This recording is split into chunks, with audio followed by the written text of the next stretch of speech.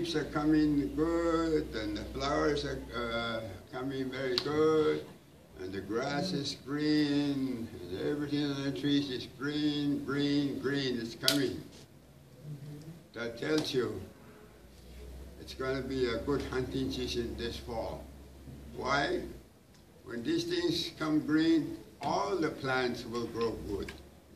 And there'll be many, many berries for the migratory birds to feed, the Canada geese, the wallabies, any animals that uh, feed on plants. They're going to be nice and fat. It's going to be a good hunting, trapping season. That's the first part. And look at the leaves in August.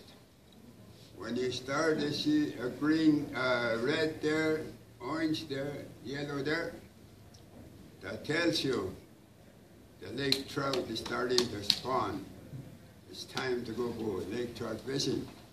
And the best time to catch a, a fish is before they spawn. Any fish, before they spawn. And when these uh, colored leaves start to fall one by one, one there, one there, that tells you the bull moose is working on his antlers. Bull moose is prime. That's the best time to catch the moose before the mating season. We were talking about beaver. When, when should we trap beaver? Look at the uh, young tamarack. Tamarack that's six feet, five feet, six feet tall. Not the old tamarack tree, the young tamarack tree. You know, it, it turns green in June. When it comes uh, September, especially October, there's little buds that you have on the young tamarack tree. They turn yellow. When the young little tamarack tree start to fall, start to go down the stream, that tells you the beaver health is prime. That's the time to start trapping beaver. Not before, not before. And the other thing about the little uh, tamarack tree, the little buds start to fall, the whitefish is starting to spawn. Now we've got to go to the whitefish uh, spawning ground and prepare our winter food. You know, this, remember these little tips. The nature tells you, ah.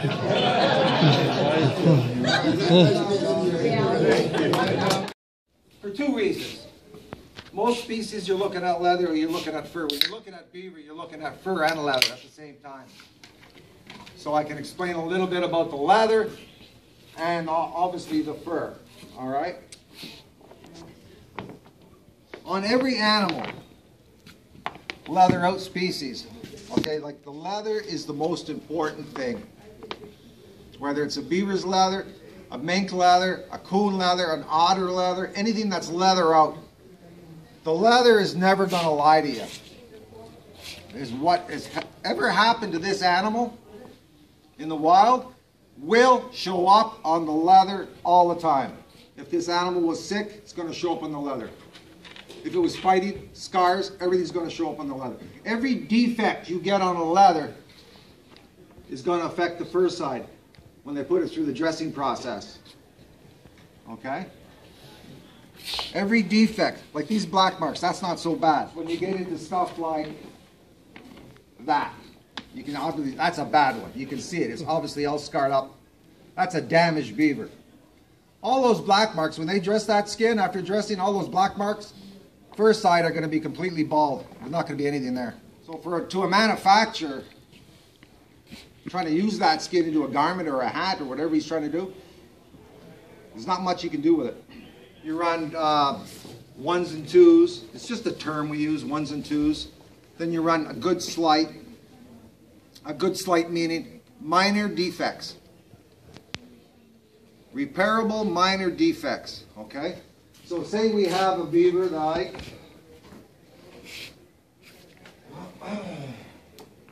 this one. That's a decent skin. Clean leather. All right? These black marks mean nothing. Right down the center. What about the white ones? This one? That's nothing. That's just that's just the way it dried. That's just skin that dried that way. That has nothing to do with it. Even that, the mark from the trap. mm -hmm. That's actually a snare. Okay. That one. You can see the thin line in it. All right. That snare did not. We'll touch snare. We'll get into snares because there's good and bad about snares. We'll get into that. These are good slights. Just because you get on your returns a grade called good slight, I said minor defects. And that's exactly what they are. Because good slights do bring decent money. These ones here have a problem. We'll start with this one. Right here. That right there. When they dress that, that's going to probably be that big around. And that's in the bad spot of the beaver, right in the flank. You pick at that, feel that on the first side. You can oh. feel it. Yeah, you can. That's a that's like a wound, a scar. This spot here, already being a scar, is weak. Those chemicals will eat that part up and make it bigger than it actually is. So obviously now that skin is going to be worth a little bit less than a select because they have to actually fix it now. I'm going to draw you a line. I don't know whose beaver this is. It's not hurting it. Trust me. I'm drawing a line like that. You can have holes here, here, here. Small problems, knife cuts. I'm not saying that many. I'm just saying every now and then you have one that's in this outer perimeter. If it has good fur quality and the rest of the inside area is still clean, it's still a select.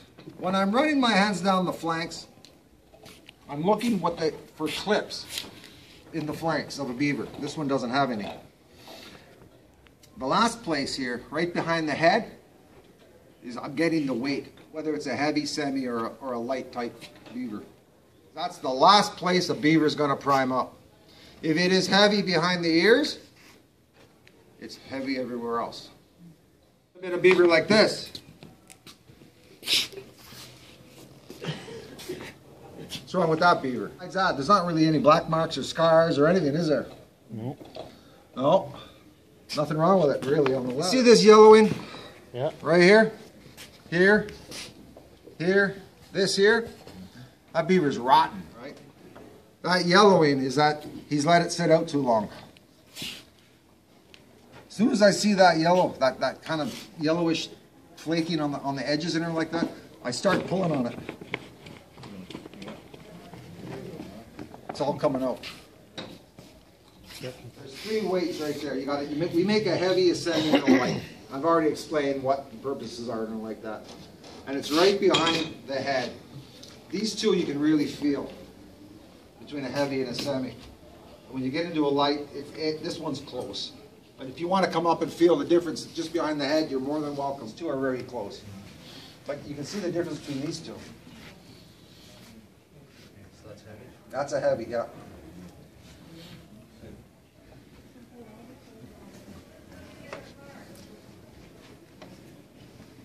Yeah, that third one's a bit tough because those two are running pretty close. We don't measure noses when we're sizing a beaver, okay?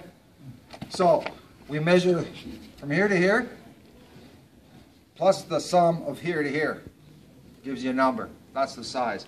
If that nose is left on like that one, I'm not going to measure it right to the end here. I'm going to measure it to about here. I mean, this guy's done a good job. Nail here, nail here, nail here. It's pretty symmetrical. It's pretty, you know, he's done a good job. Where you have a problem is you put a nail here, and you see this a lot even today. Another one here, another one here. Shortage on nails. Now, ah, when that beaver dries, what you get is this. Right? When we measure that beaver from here to here, that's okay. We measure from here to here, where are we measuring it? Most likely when that tape measure comes across and I put it across from that, because that side's the same as this side, it's scalloped like that. I'm taking it from the low side. And I've seen them worse than this. That's almost an inch right there. And there's another inch on that side. And that's two inches. That's why we say stick to the pattern. Try to keep it as oval as you can. Sure, it's a little bit more work. But you got to use more nails and everything like that. But in the long run, it could save you some money.